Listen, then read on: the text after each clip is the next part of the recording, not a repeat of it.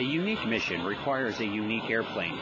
The AC-130 Spectre gunship, assigned to Air Force Special Operations Command, provides close air support, air interdiction, and armed reconnaissance. To be used effectively, airmen must be trained to call in air support from the ground. One of the most effective training tools is with simulation. Captain Nicholas Mullet, a 19th SOS AC-130 instructor and navigator, came from Hurlburt Field, Florida to train airmen with the assistance of the flight simulator.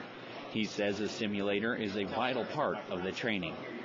Primary goal of this simulator is to work on the verbology and get these guys experience with that uh, terminology that they need to uh, accurately and timely get fires on target from the gunship.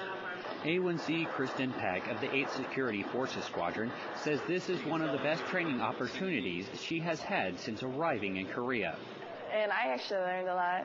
I thought it was actually interesting to learn how to talk to actually one of the pilots and over the radio and also practice how to engage the target.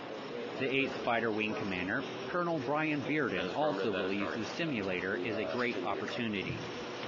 It allows us to, you know, educate our uh, security forces and those who would, would be performing emergency CAS, educate them on, on a capability that we haven't seen on the peninsula in some time.